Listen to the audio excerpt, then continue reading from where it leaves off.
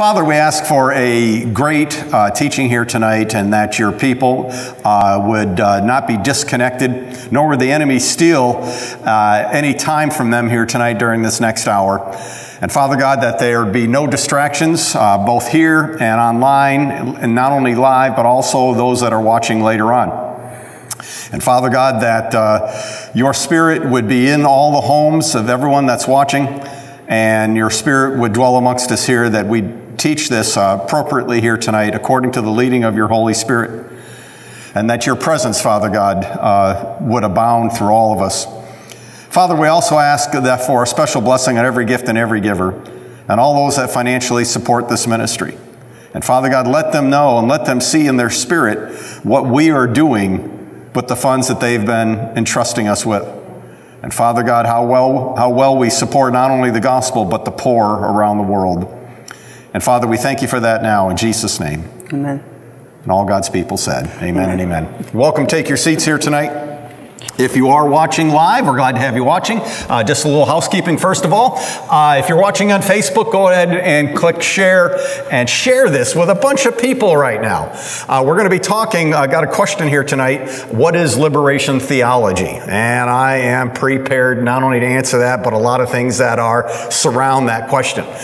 Um, so, if you've ever heard of liberation theology, if you've never heard the terminology, you've seen it in action. That's what we're going to be pointing to tonight. Then, if we have time at the very end, Kathy's going to interview me again, and she's going to interview me concerning the miracles that this ministry has seen. And we've seen not only financial miracles, but healing miracles, people being raised from the dead, all kinds of cool stuff. So uh, that'll be an interesting topic. If we have time for that, we'll take care of that tonight.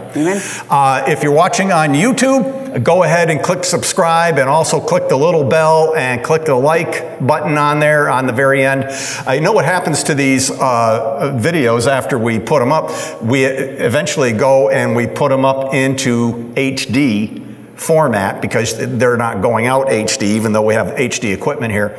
And then once those are reformed, we actually alert everyone. If you have clicked on the bell, we alert everyone that we just posted a video. Many times it's a video you've already seen, but you didn't see it in edited format with scripture overlays and everything Okay. else. And so that happens weekly. And so a lot of times if you go in there and make a comment, you might not see your comment anymore. It's not because we removed it. It's simply because that video that was live, uh, we put in the unpublished column and then we published the new edited version of what I was teaching.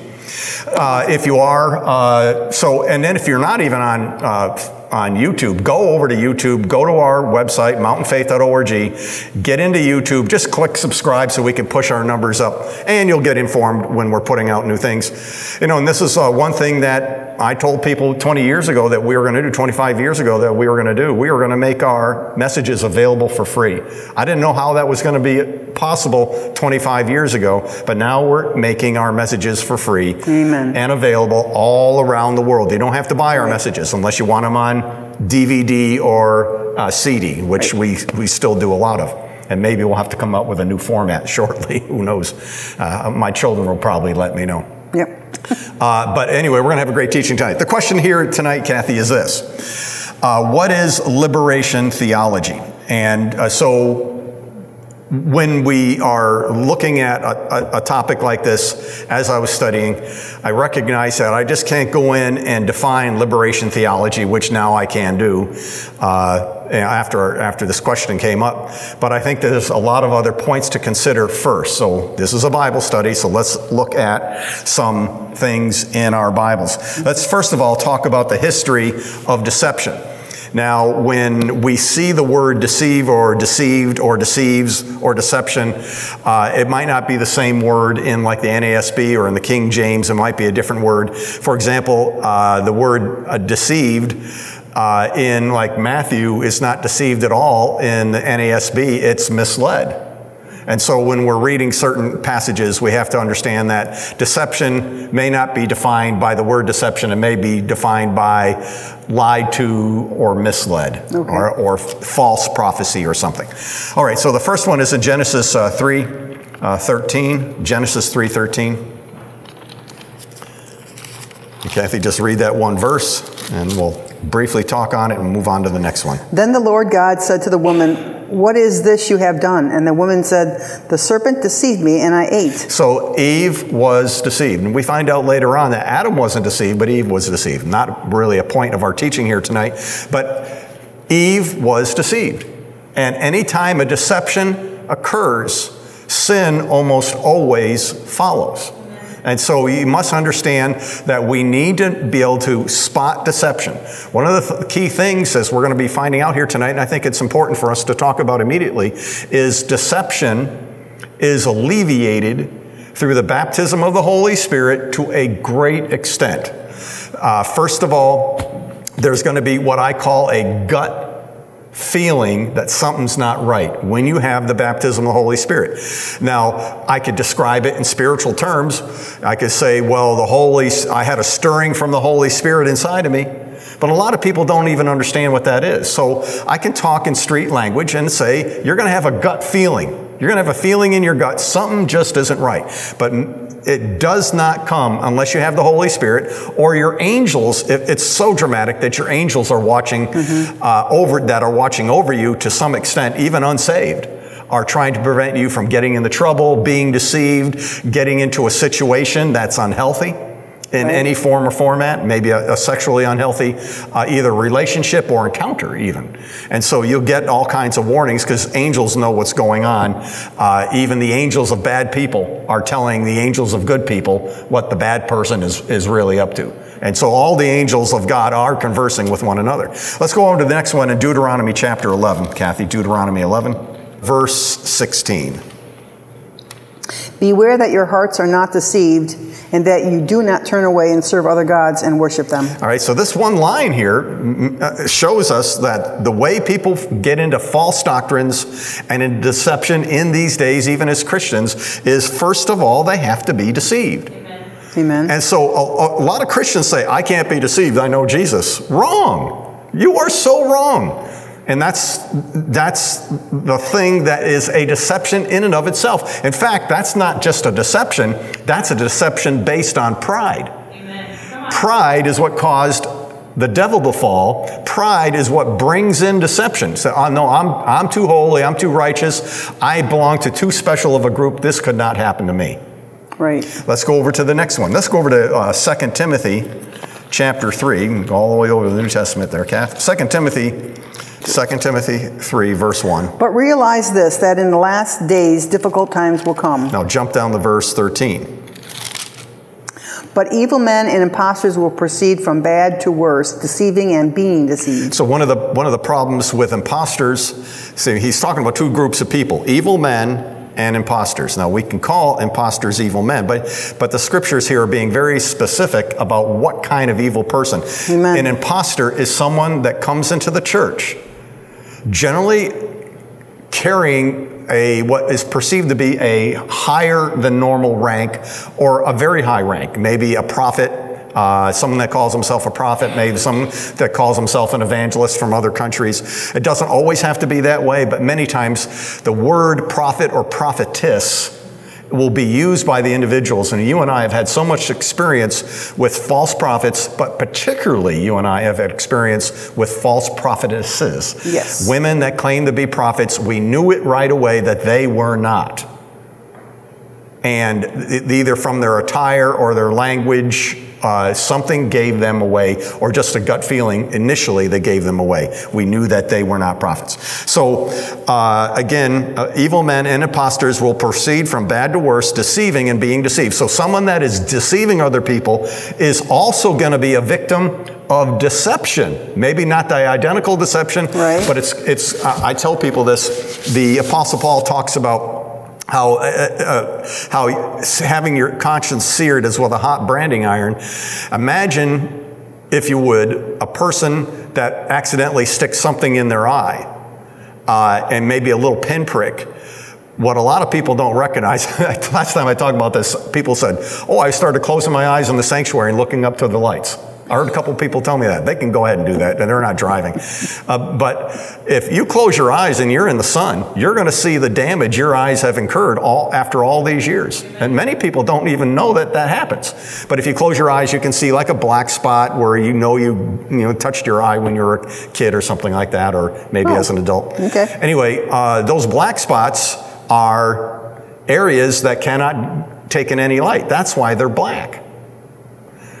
And you destroy your conscience the same way by deceiving other people, you actually prick your conscience or destroy it, put a scar mark there on your conscience where you can be deceived.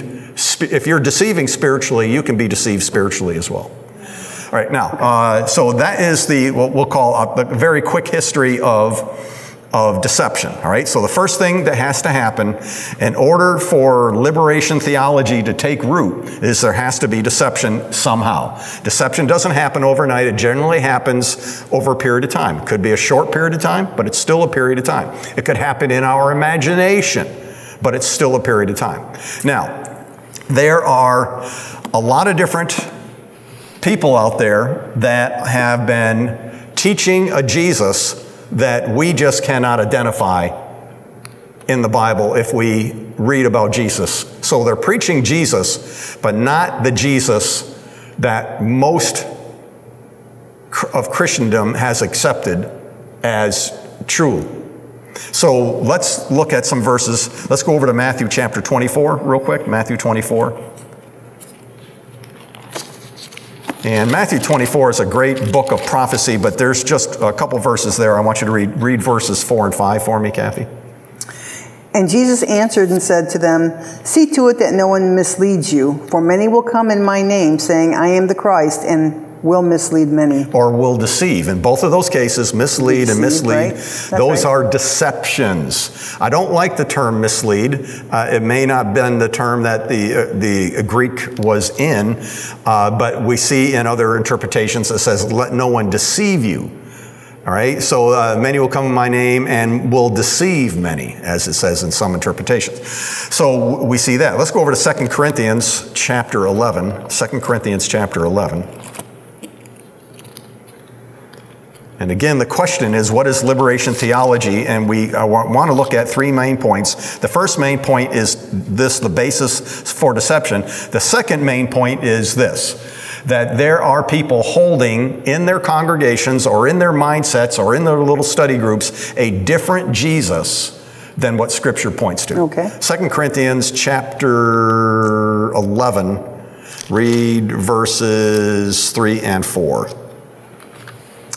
But I am afraid that as the serpent deceived Eve by his craftiness, your minds will be led astray from the simplicity and purity of devotion to Christ. All right, so here we see the, the very first time Eve is, Eve is deceived, which we just read, and you'll be led astray from the simplicity of Christ. Mm-hmm. And, and what is the simplicity of Christ? The simplicity of Christ is that he paid the price for our sins on the cross. That uh, the simplicity of Christ is that he came for all people. He came for the rich and the poor. Right. He came for the white and the black. Right. He came from the lowly and the upwardly mobile. He came for everyone. There was he's not discriminatory. That's right, it's not And exclusive. there are there are there are branches of Christianity on television today that people don't realize, in my opinion, are so deadly because they are they have basically replacement Jesus theology.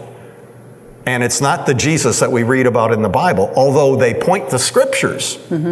But isolating those scriptures out of context without the context of all the gospels, that uh, it makes Jesus look like a different person than what he's accepted Okay. to be, you know, that we accept him to be. So read verse, uh, read verse 4. For if one comes and preaches another Jesus whom we have not preached, or you receive a different spirit which you have not received, or a different gospel which you have not accepted, you bear this beautifully. All right, so we're not to have another type of Jesus, even though his name may be Jesus, or someone that's that's retranslating the scriptures to make Jesus whom, whom they want him to be, mm-hmm. or a different spirit. Now, a different spirit will be not the Holy Spirit. And again, some of these things are reflected in our gut. We get a gut reaction, something's not right here. Now, is any of us above deception? The answer is no. We live in our carnal bodies, we all can be deceived. There's no one that is exempt from it, but we are less exempt, we are more exempt from it to a greater degree when we have the Holy Spirit and we practice the witness of the Holy Spirit Right. on a regular basis. And Amen. you know, you, you know that I. well, Anyway, we'll just keep going. So you want to practice the you want to practice that inward thinking of that there is another Jesus. Now, now I'm going to talk about another uh, the other Jesuses that people are preaching. They're talking about my Messiah and your Messiah. They're naming him Jesus or Yeshua or the Christ but they have a different viewpoint. And so I started out with liberation theology because that was the question. What is liberation theology? So I have six different Jesuses, if you would, that are being preached in pulpits around the globe today. And the first one that I'm going to deal with is liberation theology. Now, this is what liberation theology is it is Marxism, and everyone agrees that it's Marxism. It's Marxism under the banner of Jesus to overturn uh, the society structures to liberate the oppressed and get rid of the oppressor. So initially, this started, it started gaining popularity in South America and Latin America, particularly in Catholic churches in South America. And not all Catholics agree with what's known today as liberation theology. Okay. All right, so I just we don't want to throw out the baby with the bathwater or bury a whole denomination. This is in Latin America in specific areas where people are using, trying to bring in Marxist regimes using the church and the people in the church Wow. to overturn a government to make it Marxist. And they use what's called liberation theology, and they say, well, Jesus would want you to, Jesus was poor, so uh, he came for you. Well, first of all, this, which is my, uh, my second one, which is the impoverished Jesus theology, I'm going to tear that into that tonight as well. But Jesus was not poor. Right. But we'll come back to that in a moment. But they use that, and this is the way this liberation theology works. Liberation theology divides people. It says you're oppressed, and this is your oppressor over here. So we need to free you from your oppression, and we need to deal with this oppressor. So the first way it was being used was in a financial circle. So the rich were the oppressors, and the poor of the country were the oppressed. But remember, these are politicians using theology or twisted theology, twisted Catholic theology in order to gain their own ends to achieve a political goal. Okay. It's not a spiritual goal at all, but it, they come out making it look like it's, it's a spiritual goal. So what they do is they uh, it's designed to make people take sides. So anything that's liberation theology today always has two sides. What's in the news in the United States these days? What are we what are we hearing about? We're hearing about the injustices to women. Have women been unfairly treated? Absolutely. But there is a theology growing out of Christianity that says that anyone who is oppressed is spiritually right for whatever reason, and we have a moral responsibility, no matter what the cost, to free those oppressed peoples. All right? So it could be it could be liberation theology financially. It could be liberation uh, theology according to sex. So if you're men, you're the oppressor. If you're women, you're the oppressed. So we want to free women from the oppressors of men, and we want to take men out of the uh, society's role as leaders. We want to make this a more gender neutral leadership role in society, including everything from families to and nothing wrong with the woman being the head of the family. Nothing, and we're not saying any of that at all. But it's when it gets to the point of removing the rights of the male in order to, to so-called relieve so-called the oppressed woman. Remember, this does only it only separates people. Mm-hmm. It only makes people take sides, and only and it makes people one person has to be in the right and the other one has to be in the wrong. It must be that way. There can be no, well, they might be, you know, So it's going on right now in our politics? it's going right now in our pol. What, what is, I mean, you can probably say it faster than I can. Uh, what, Uh, what- the critical race theory. critical race theory? It's insane. Uh, wh- Um, uh, what, what else have we seen in, over the past year uh, throughout COVID? What did we see on the news? And that- BLM. uh, BLM, right? Black You know. Lives Matter. What about All Lives Matter? That's right. Black Lives Matter, right? That is a liberation theology mindset. And we even had relatives sending me, not you, sending me emails complaining about my theology that I was, I was an oppressor. They weren't using that terminology. Well, that's, that's, that's what critical uh, race theory is right now, and they're trying to push it into the schools. And they're saying that if you're white, you are the oppressor. And then there are different companies, of course, out there that are telling them to be, uh, their employees that are white to be less white, you know. Um, there are different companies that are pushing this um, critical race theory, and, and it's getting really um, coming into the foreground now with schools, and a lot of parents are seeing it because of the co- uh, and, and so really on the flip side of the coin, COVID was a blessing in disguise because a lot of parents suddenly were now taking interest in what the child was learning because the child's learning at home. And so they have to look at, and they're seeing, you know, they're pushing this that, you know, if, if, you know, I mean, well, a number one example is today the uh, House, uh, the House uh, voted in D.C. to remove all the Confederate statues in the Capitol Rotunda in D.C. I mean, we want to erase our history, you know. These, these people that are long dead now, somehow the great oppressors, you know. But, but, the, but the thing, and, and they're pushing this mantra down everybody's throat. But the thing is, there, I, I don't have any slaves in my past. There's nobody in my past family that's ever owned a slave. And I was never a slave in the past. And I'll bet that most of these black people and most of the white people, especially people that are pushing this, there's, there's no slavery in their past. I mean, yes, there was slavery. It was, it was in the whole world.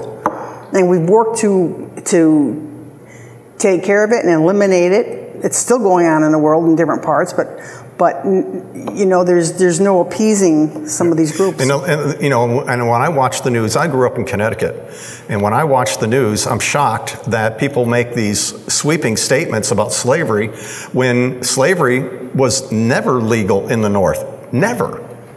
Right. I mean, mean, I mean it, it, when you say, when we we are talking about uh, laws in the North compared to laws in the South. The reason why the South wanted to break away was over the slavery issue. But it was only the rich and the powerful that had slaves, even in the South. The poor people in the South didn't have slaves. Right. And uh, so this whole slavery issue and the way uh, black people were treated and, and treated poorly in the South through the slave trade and through slavery in general was not something that was practiced up north. In fact, I didn't know what racism was. I had black, personal black friends. My black friends dated my sisters. And I had five sisters. We didn't think anything of it. I didn't know. I didn't know what racism was until I joined the military, and I met a bunch of uh, Southern whites and Southern blacks. All of a sudden, now I'm hearing racism from both sides, but they were all Southerners. Right. And, and I had plenty of black friends. You, you know, the, the people in the North uh, that were black, there was no separate bathrooms, there's no separate water coolers, there's no separate restaurants. It's, I never saw anything like that. Right, that didn't and so happen in the North. It didn't happen in the North, and so that no one talks about that in the news. And that's not the point of our teaching here tonight. But liberation theology will pits one group of people, whether by race, by uh, by sex, Finance. by finance, uh, by anything that they can hook on in order to divide people, to conquer them. All right, so what they intend to do is take society structures and change them. In other words, get rid of them. But in the end, Marxism is, and, and every one of these groups, they come out and say, we're using Marxism as a rule of thumb to help us identify what we need to liberate. And all of a sudden now, liberation theology becomes a movement of people, not a movement of the gospel swelling the ranks of people going to heaven. It's just a movement of people. It's man-made Right. and it's, it's demonic. So that's in a nutshell what uh, liberation theology is, okay? But liberation theology makes Jesus, everyone says, well, Jesus was this, and he was this, he was this, he was this, he was this. Therefore, we have a responsibility to the poor. We have a responsibility to, um, you know, to the minorities in this country. But it's interesting that it's not my, uh, I just saw in the news today that Omar was criticizing Democratic Jewish uh, um, legislators and she was mocking them, and now she's trying to backtrack it. So it's, it's only certain minorities that are protected. Jewish minorities in this country are unprotected. And whether they're Democrat or Republican. And so it does, it's, it's a select group of minorities that someone, somewhere, uh, is picking, but it's not across the board. It's not even across the board. The second uh, theology I want to talk about is the impoverished Jesus theology. Uh, this I grew up with because I grew up Catholic. My father still believes this. My father almost became a priest. Went to La Salette Seminary out in Iowa. Was there for six years. Uh, got a revelation. Uh, I'd like to get married and have nine kids. And um, it didn't come to him all at once. Uh, just like the kids didn't come to him all at once, but I'm the oldest of nine. And mm-hmm. so he, he got out, but he, to this day, my father really believes in this impoverished Jesus theology. And I don't, you know, I don't try to correct him anymore. Just, you know, that's right. what he wants to believe. Right. But Jesus was not poor. How do I know this? Well, first of all, he fed 4,000 and 5,000, which means if he could feed 4,000 and 5,000, he could feed himself. Uh, Jesus was was the head of his household. How do I know that? Because by the time his ministry started, his father, Joseph, his naturalized father, was dead. Under Jewish moral law, if you were a Jew, the oldest son got half of the inheritance. That means he probably owned the home that Joseph and him built. Mm-hmm. People say, well, he was born in, in a stable. He wasn't born in a stable because he was poor. He was born in a stable because there was no room at in at the inn. right. There was no room. Right. They had money for a stable. And they had money for a hotel. They would have preferred the hotel. Right. Right. All right, so they, he wasn't born poor. Mm-hmm. Um, so, and then think about this. We know uh, that Jesus had siblings. So, what would the eldest son, his responsibility would have been? Would have been to make sure his siblings were well taken care of and fed. Mm-hmm. That was not Mary's job. That right. would have been his job as the head of the household and the man of the household. What else do we know about Jesus? He was the son of a carpenter. Well, back then, if you were the son of a, a, wheelwright, you became a wheelwright. If you were a wagon master, you became a mm-hmm. wagon master. If you were a camel herder, you became a camel herder. And if you were a carpenter, fill in the blank. Right. Right? So you would become a carpenter. Exactly. And so Jesus wasn't poor. If he had a business, uh, we know carpenters out in our area, and we know uh, they're good carpenters.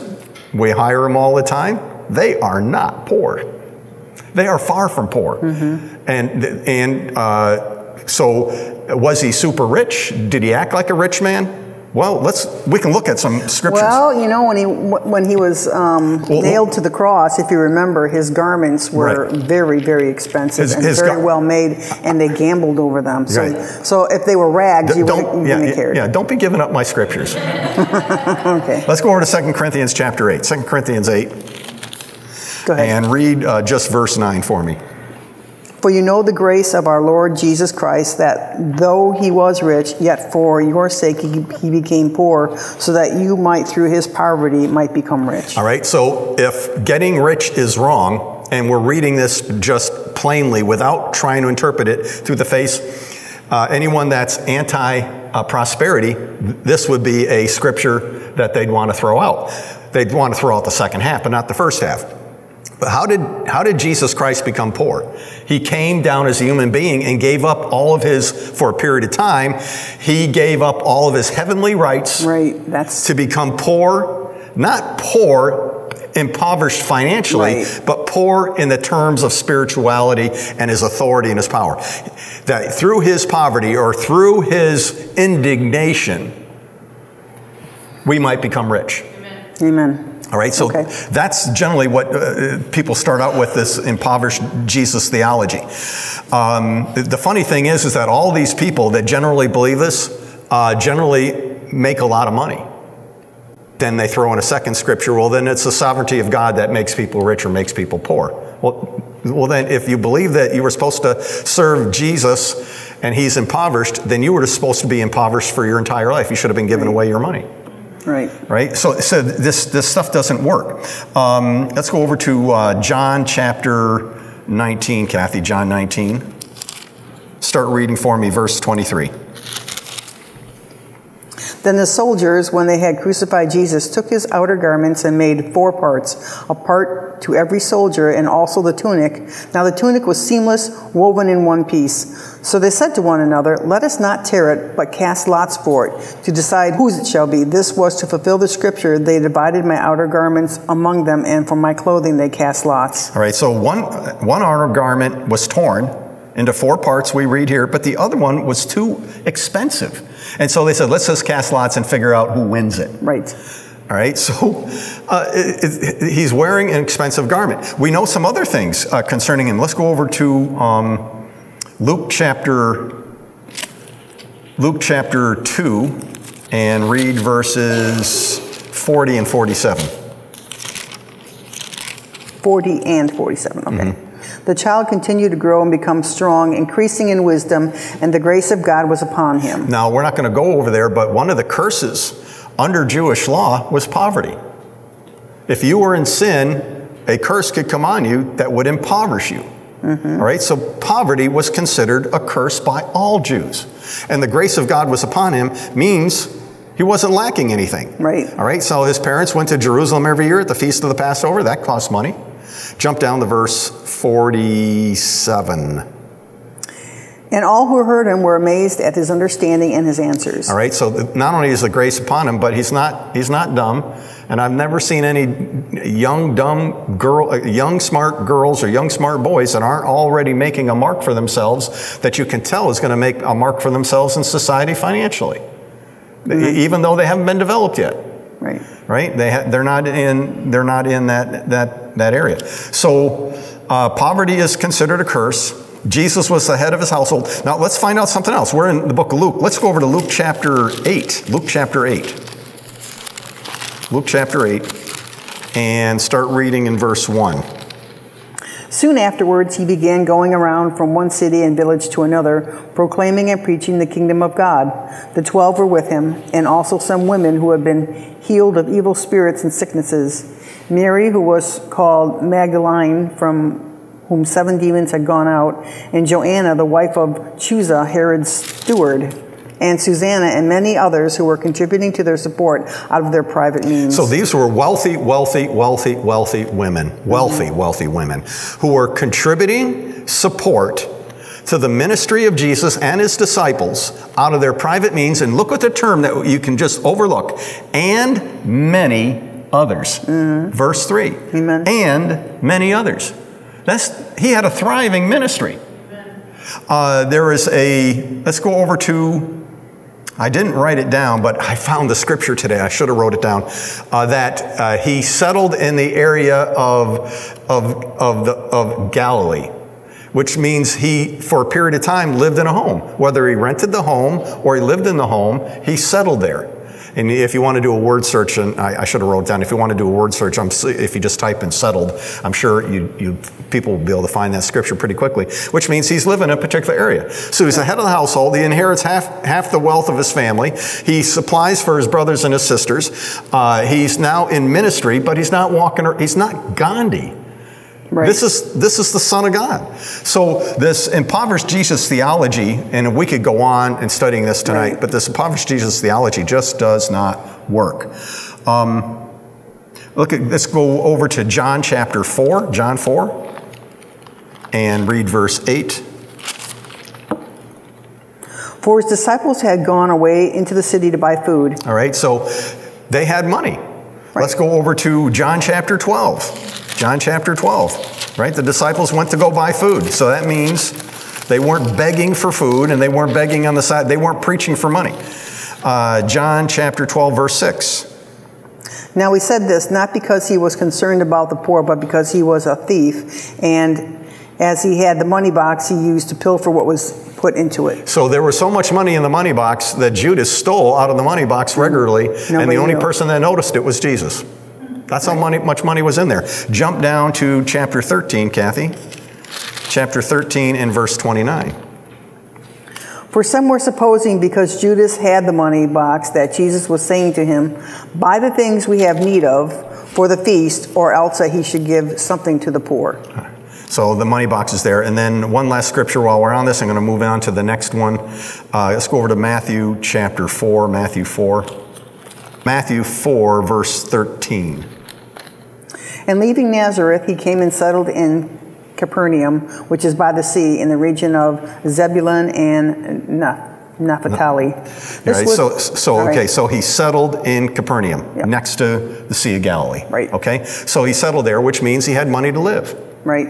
And he wasn't a tent maker. Although he, he was pre- he was still preaching, but he had the money to live. He had the money to live on. This is why we support our preachers today. Right. It's because we need them to set aside. They don't. They shouldn't be out out doing the things of the world. They should be spending their time in study and prayer. That's right. And that's what their that's what their exactly responsibility is, and and the prayer is to keep watch over everyone's souls.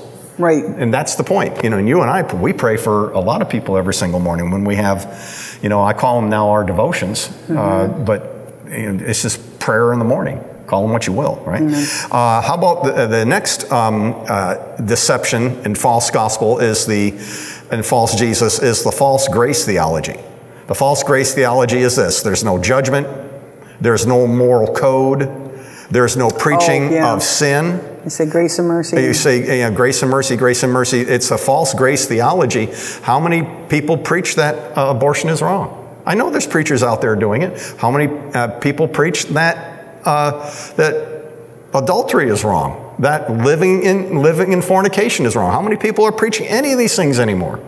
The reality is, is that the majority of the church. I sent out a letter today about living stones. The majority of the church are no longer the living stones of Christ. They They're- say no, that not, they they're. They're not keeping watch over their people's souls. Not at all. right. Um, case in point, right now we have the Catholic Church that has decided that maybe they shouldn't be giving communion to people that are pro abortion.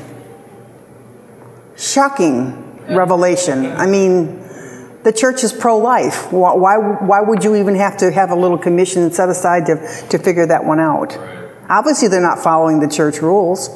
I mean, the church, the Catholic Church was against birth control, the Catholic Church is against abortion, um, but there is sexual perversion in the church, you know? So, you know, it's, it's, I was having this conversation with a woman today about that. She goes, well, wasn't the Catholic Church like uh, pro-life? And I'm like, yeah, they're pro-life. They are.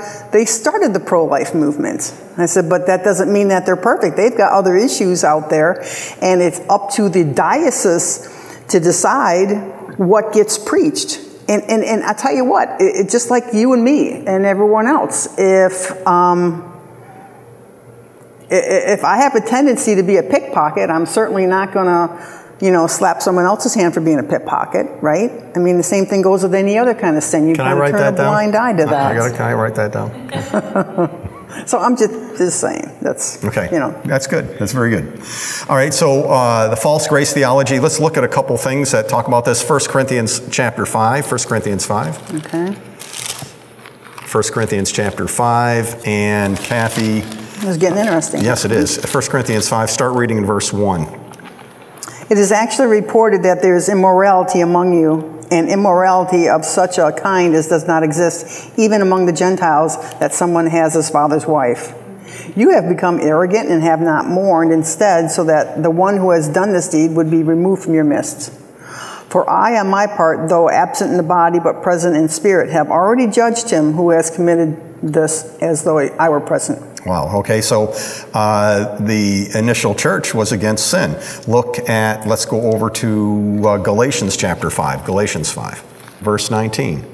Now, the deeds of the flesh are evident, which are immorality, impurity, sensuality, idolatry, sorcery, enmities, strife, jealousy, outbursts of anger, disputes, dissensions, factions. Keep going. Envying, drunkenness, carousing, and things like these, of which I forewarn you, just as I have forewarned you, that those who practice such things will not inherit the kingdom of God. All right, so we see that uh, sin was talked about in the early church. How many people uh, read this and then teach on it in any depth? Um, there is uh, there's another one that I want to deal with real quick, and I, I like to come back to these next week because I think this is a good teaching. How about the false movements theology? And I'm just going to touch on this right now, and we might come back to the false grace theology. How about the false movements theology? Uh, the false movements theology is this, and, and these are terminologies that I've come up with, but the false movements theology is this that we're doing things to celebrate Jesus that Jesus never did, that his disciples never did, nor did the early church ever do. Like laughing, Like laughing, like rolling around on the ground and laughing.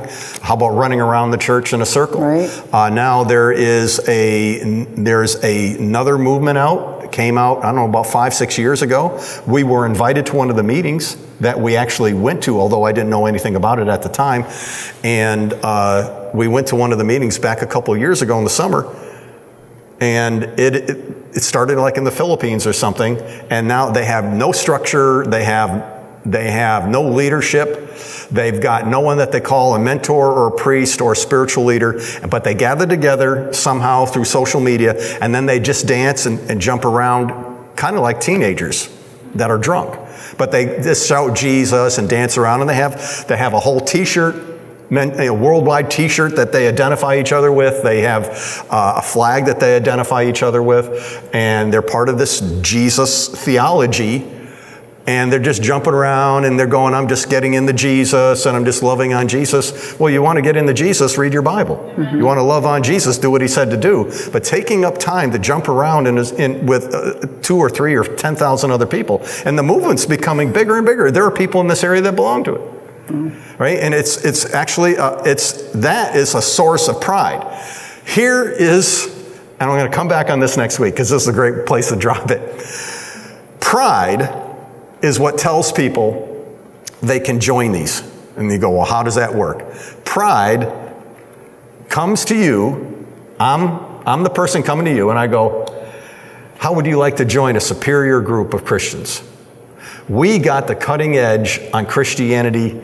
We started this new group. It's moving all around the world. And if you join us, you'll be joining a superior group that only certain people feel they need to join because most people they're not they're not spiritual enough to understand what good we're Oh, doing. wow, that's a good one. Not spiritual. And so when I'm telling you that and I'm inviting you, your pride is going to say, not yours, but your pride is going to say, well, I want to be superior. I want to be in the superior leading group. I want to be like Jesus. I want to be on the cutting edge of Christianity and spirituality. And pride mounts up, and then you get involved into something that involves dancing, hopping, just general goofiness. And it's pride. It's pride that allows uh, to get there. There's other things that allow you to get Right. into false movement theology. Another one is sin, and another one is this carelessness. Things I'll cover next Right. week. But if I can tell you, if I can flatter you, I can get you to join anything. Right. I can. I mean, I, I can, personally, I couldn't do that, but I know people that have got no conscience that are excellent flatterers, and they can flatter anyone into believing anything or joining anything. Oh, absolutely. Yeah. Okay, so, uh, and then uh, next week I'm going to talk about the uh, false uh, prophecy uh, theology. And then all the, the other one I'm going to talk about is all religions lead to the same God, which is a false theology, but it's in Christianity today. Well, all religions lead to God. Well, then you don't understand Christianity because Jesus said, "I am the door; no one comes to the Father but through me." That's right. I, you know, and so uh, we'll come back to that. Okay. Is that okay? Yep. And then I'll let you uh, interview me here, and, and we'll talk about the other subject that we wanted to talk about. Well, we just kind of wanted to take some time here in the next few weeks to just um, kind of give a lot of people that are new to the ministry and people that have been in the ministry for a lot of years.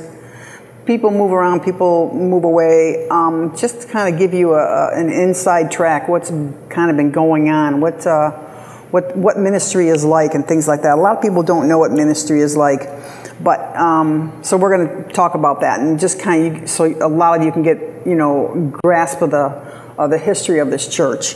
And also, um, it's, it's it- been it's been in, it, we've been like well growing and maturing. I don't want to use the word evolving, but we are ever changing and ever adapting. But you know, um, but the vision is the, the is vision the same. is the there. vision has stayed it's, the same. It's huge. Yep.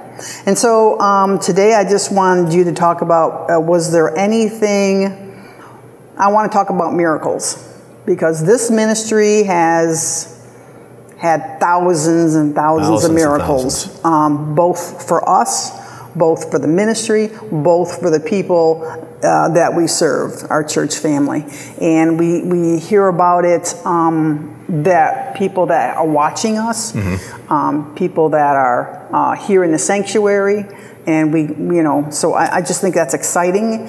And just the, the fact that this ministry is still alive and booming is a, is a big testimony as as well. Right. Okay? So let's start with um, we were uh, at the ex auto parts store that we. Where um, famous Dave's is now. Right. We, you know, renovated it on the inside. It looked pretty, pretty dingy on the outside. It looked like a dump, but um, uh, we were uh, pushed out of there uh, quite quickly. Well, we were at the um, uh, Kenneth Copeland uh, ministers meeting, and we got the call. Hey, guess what? You got 30 days to get out of there because we're we're pulling the lease. We bought the building, and it's mine now, and we want you out. Right, and they were calling us from Florida. They weren't even Yeah, local yeah. people. They were So, they were was, investors uh, from Florida. Right. Yeah, that was a that was a horrible uh, phone call. It was a horrible afternoon. Um, so, do you want to uh, elaborate on that? Sure. Um, uh, God spoke to me several times audibly about where He wanted this church to be. Right. And He said, I want you in the Dells, which is a half hour drive from our home. So that didn't seem logical. And I mean, it, you know, it didn't seem logical from a man's perspective. Of course, Right. from God's perspective, it was completely logical. And then God spoke to me and said, I want you on the interstate. So Right. we were on the interstate in that auto parts building. We We, were. were. right on the interstate exit. Right. People driving right past our building, getting off the interstate. Right. And uh, so we were pretty much on the, but then the Holy Spirit spoke to me one day and said, I want you to call up your favorite realtor and ask him if there's any real estate on the interstate. Uh, so uh, I called him up. He goes, Actually, Dave, I got one. He goes, You got to come out and see. It's 36 acres. I go, Okay. So we go out, we come out here. And the guy that owns the land lives down in Louisiana. And he owns three or four parcels on the interstate uh, where some buildings are now where uh, he owned. And I think he still owns a piece of land if he's still alive. So uh, I said, How much do you want for it? He goes, 600000 Now, this is in 1998. Right. No, We didn't have six hundred dollars. we didn't have we didn't have twenty five thousand. So anyway, um, I, I said, well, neg- negotiate with him. So he calls me up. He said, Dave, the guy wants to talk to you. He's a Christian, and he's uh, he, he gives to his, his local church down there in Louisiana. He wants to talk to you personally. So he talked to me for a half hour on the phone. Then the next day, I got an offer. He'd sell it to me. And we talked because we talked about these ideas. It wasn't just him coming because I, offered him, you know, why don't you give four hundred thousand of it and get a tax write-off. I, wanted to figure out how his business was doing. He said he's making so much money he needed tax write-offs. I said, great, I know how to do this. So I said, why don't you donate 400,000 and charge us the 200,000 and we'll sign a contract. And he got a big tax write-off and I, we started paying him. And then at one point he goes, God, he calls me up and said, God told me to pay off $35,000 of your loan. I go, great. So all of a sudden it dropped. And then about a year and a half later, we were closing in and paying off the whole 200,000, you know, including his donation. And he said, God told me just to write off the note. And we had like 25,000 left on it. So all of within, I think, 24 months, we owned a 600 thousand dollar piece of land, which was valued at six hundred thousand in 1998 uh, when he was when he was trying to sell it. Then, so we didn't develop it. It was just down the road that we have now. That's a third of a mile long. It was that was a a trail for deer. You couldn't get. I had an old rusty pickup truck that I would risk driving up to here because it would try to take off the mirrors and anything. I didn't care because it was all rusty pickup truck. It was fun to drive in the woods. So I would, if I would come over here, I would have to drive that pickup truck just to get back to this location, Right. which was not open. We had trees here. And then, so they, they said uh, on February, whatever, February 20th, get out. You got 30 days. And so I thought the ministry was over. And then, uh, and I, think I talked about this just a couple weeks ago. I, I drove around. I thought ministry was over. I, I just, we tried to find another location. We couldn't do it. And the Holy Spirit said, build a building. I said, build a building. So I called up a guy that I used for architecture. He, he designed other buildings for me. He's a, he's a very good architect. And I said, design me a building. You got 30 days to come up with a design. So him and I worked hard at it during this period between February and April. And we got a design, which is what everyone is seeing right now. We designed this in 30 days with state co- conceived uh, things in place. And then I went out and I contracted it, and we got a giant contractor out of Madison to agree to do it, and I didn't even have financing for it. Right. And the initial part of the project was supposed to be 750,000, and then it ended up, you know, and we put in, I don't know, we, as we were building, we started building, we're two weeks into the building, and the contractor comes to me and goes, Dave, you're a nice guy, you're a good guy, you're a nice guy. How are you going to pay for us? We've been out there working for two weeks. We've already run up a quarter of a million dollars. I go, you know, I haven't thought about that, but I'll go to the bank. This is true. Yeah. I just, I just knew that God was going to have control. It was just falling into place. So I, I went to the bank, and I walk in, and, and my banker was a woman, and we were good friends. And I said, uh, I, I said her name, and I said, you know, um, we're building a, a big church building out there on our land. She goes, Dave, I already heard about it. she goes, I know what you're doing out there. I go, okay, well, can you lend us the money? She goes, yeah. I didn't even have the plans with me. I just walked in. I didn't have nothing. She goes, "Yeah, come back on Friday. We'll sign the paperwork. We'll get you uh, seven hundred fifty thousand. Boys, banking changed, doesn't it? Oh, good. so, um, so I, I called the guy up later on that day. I said, "Yeah, we'll have the financing by Friday or Monday. So we'll start cutting you checks."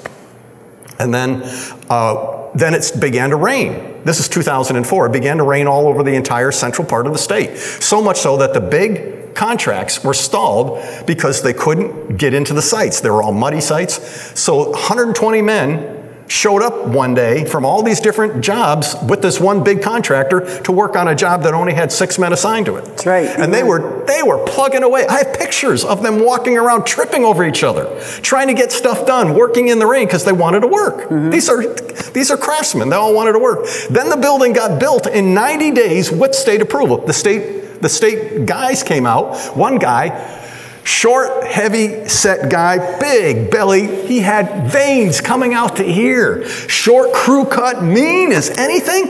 And he's cussing at the workers, going, Do this today so I can approve it and not come back. It was 50 days? Okay, Kathy just corrected me. It was 50 days. That's true. It was 50 days. And um, so Then we moved in. I mean, it wasn't completed, but we moved into the church at 50 It- days. it was state where it was approved. some- it was habitable. The bathrooms were done. Right. It was I mean, state we approved. Still the carpet. And it was state approved. And these guys, all these state inspectors are running around yelling at people. And, you know, it's, it's a job site, so it's a little bit crude. So, and I'm going like, and I go, I go, do they normally act like this? I go, are you kidding me? You got to hunt these men down. It'll take them 120 days normally to get out to a site to inspect it. Right. I said, they're running all over us. We've never had them do this to us before. And then they were telling the contractors how, how to put in the plumbing, how to put in the the well head, how to put in the the uh, the well container, how to put in uh, so many different lines that were We- being yeah, put we had so many, uh, so much favor and so much blessing, and it was just like it was just overflowing. it was It overflowing, was- and we it moved was in. Awesome. And the first day that we got in here, for those that were here, I had a shofar. And I just blew the shofar in the sanctuary, I don't know, for 10 minutes. Right. Our first, and everyone was um, shouting and screaming. No one could believe that we had moved in that quickly. Right. It was Our just. first Bible study was held out where the parking lot is right now. Everybody sat on bales, right? Right.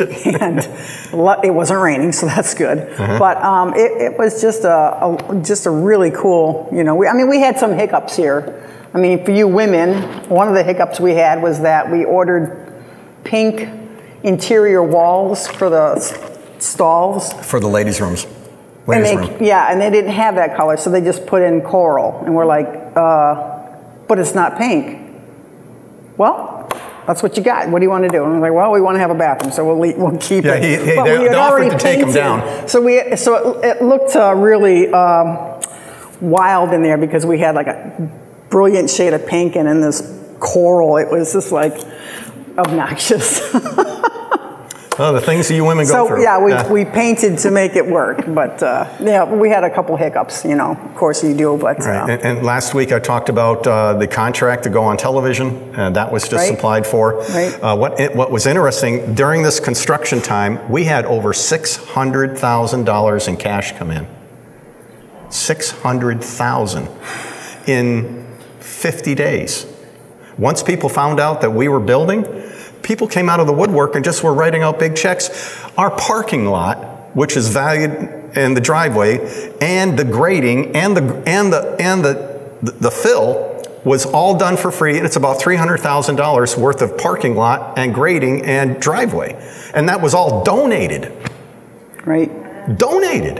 And so it- it- it- we should have had, you know, our, our, our finished, our finished loan should have been around 1.5 million, but only ended up being, I think it was 840,000 or something like that, the finished loan, because we had so much donated in such a short period of time. And Yep, it was, it was the hand of God. that's right. And, and- Exactly and right. it was and it was small givers too. Small givers were just like given two and three and four times a week. I heard what you're doing out here. Here's here's twenty five dollars, and then you would see them two or three times again, and then maybe over the next couple of weeks or next month. Just here, I know it's not a lot of money, but here we want to give to your building project. And these are people that don't even go to our church. Right. A lot of people that gave uh, were other were other churches, uh, other church people that would probably never want to come here. But I think some of them watched us on television for the little bit of time that we were on TV, and for you know five years that we were on television at that point. Yeah. So, Yep. but it was it was absolutely wild. Yeah. It, it was, and the first day here, it was, this place was jam packed. It was wild in here. Yeah. It was crazy. That's right. That's right. So We don't have time for any we more. don't have time for any more, but, But uh, next week we're going to talk some more about the uh, false gospel theologies, and we'll do, we'll do another interview next week. Okay. Okay. All right. Let's all Sounds stand. good. Father, we thank you for your word here today. We give you honor and glory and praise. Father, we thank you for what you're doing in our lives. Father, I ask that you give me a great message for your people for this Sunday and that uh, all of our congregation and all those that peer into our ministry, even momentarily, Yes. will have a great weekend and a great rest weekend and a great rejuvenation weekend. Yes. And Father, we thank you for this study here tonight. We thank you for your people, uh, Father God, and we ask that you'd give them their daily bread continually, not just today, but daily and every day. In Jesus' name. Amen. So this is Pastor David and Kathy saying, Press into God. and he'll press into you. And we'll see you again here this Sunday at, the the mountain.